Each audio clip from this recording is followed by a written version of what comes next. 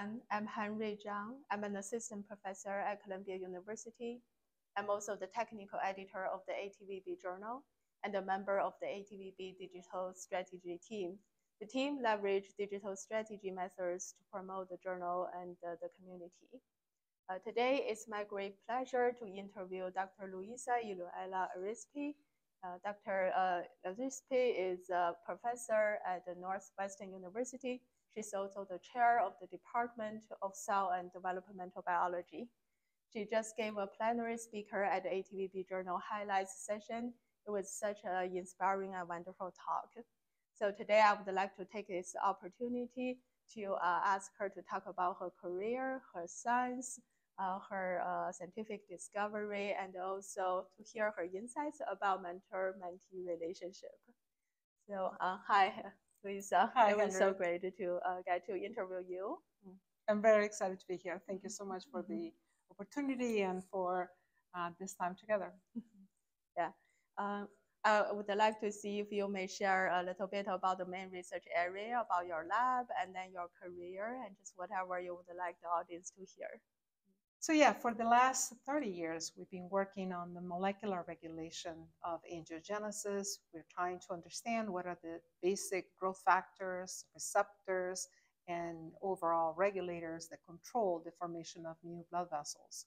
So that work actually took us to pathological uh, settings, but also trying to understand how the entire uh, circuitry of signaling pathways are um, coordinated to organize a well balanced network.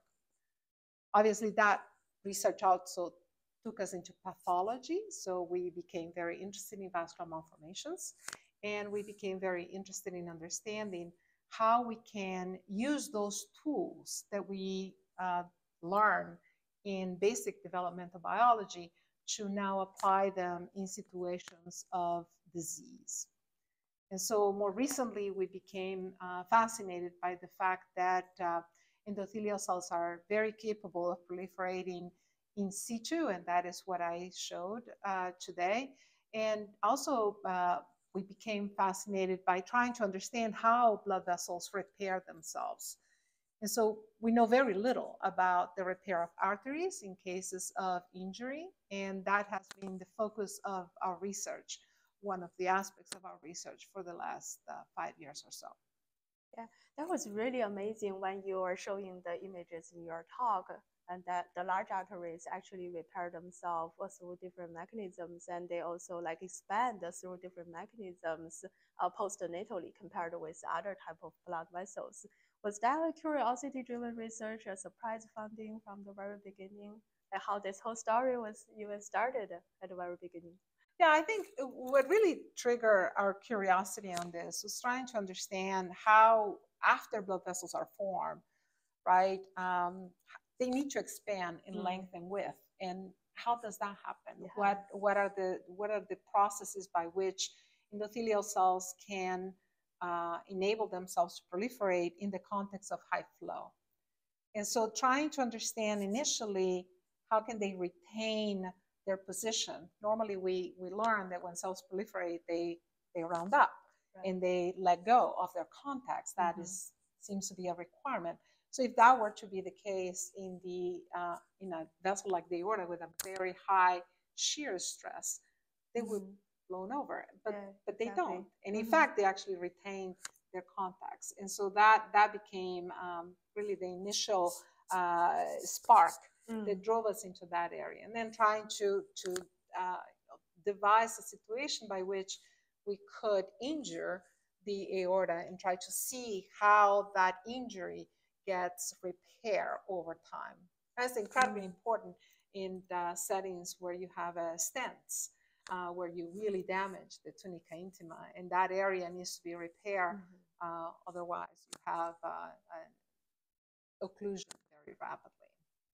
Yeah, exactly. Or do you think it's safe to say that it is that hemodynamic force, either during homeostasis, during growth, or during injury, actually mold the entire system to remodel as the way it is? So, Yeah, I mean, clearly, I think the evolution has enabled or endowed endothelial cells to adapt to Mm. that hemodynamics and all those forces. I think they they very rapidly uh, are enticed to actually polarize themselves, right. elongate, align in response to flow. That's really exciting. So where do you see this project is heading toward? Well, I think I think uh, yeah, it's, it's, a very interesting question. Mm. I'm very excited about this result right. because I think that there's a lot that we don't understand about endothelial injury. Um, when um, when the heart gets uh, gets damaged, we have a way as physicians to identify circulating biomarkers mm-hmm. to as a sign recognize of, it. right to yeah. recognize that. Same thing with the liver. We don't have an endothelial marker, biomarker that can inform us as to the degree right. of endothelial injury and the ability of that endothelium to regenerate mm-hmm. or uh, regrow. So I think it's, it's uh, this is where probably we're going. We're trying to understand how we can identify markers that can inform us as to the status of the health of the endothelium and what are the situations in which there is um, you know, proliferative resilience and what are the confounding factors that might affect that proliferative resilience and repair over time. That's really exciting to hear. Looking forward to the next few years to come, and then we're gonna hear the stories develop, being developed in the next phase in your laboratory. Yeah, thank mm-hmm. you. I'm excited as well.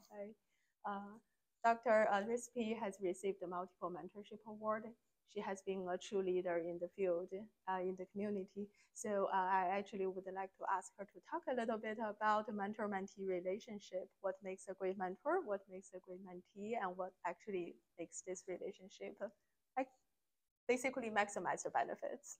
Yeah, thank you. I, I really love to mentor.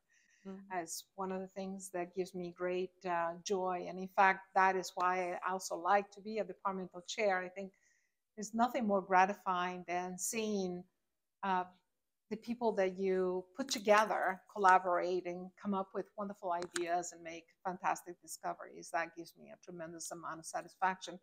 And it's the same thing in the lab, right? Um, when a graduate student runs to my office and tells me, Luisa, I cannot, you cannot believe this. This is unbelievable. This is amazing.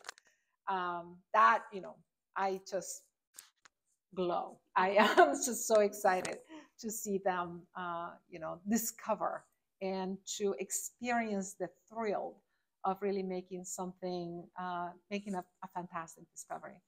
And so, what makes I think a, a, special mentor-mentee relationship is is trust and confidence. Um, the mentee needs to entirely. I mean, they they are giving us the um, they're entrusting us with their professional future, and so that trust uh, on both ways is, is absolutely essential. Mm. And uh, and trying to you know understand what really makes individuals tick. So in part of the the mentor is trying to understand well where you're going and and what you want to accomplish, and what stimulates that mentee Mm-hmm. And that answer is different for different mentees. Yeah. Some mentees really love a deadline or tell me by when I need to do mm. this. And others, if you give them a deadline, they run away. So the approach of the mentor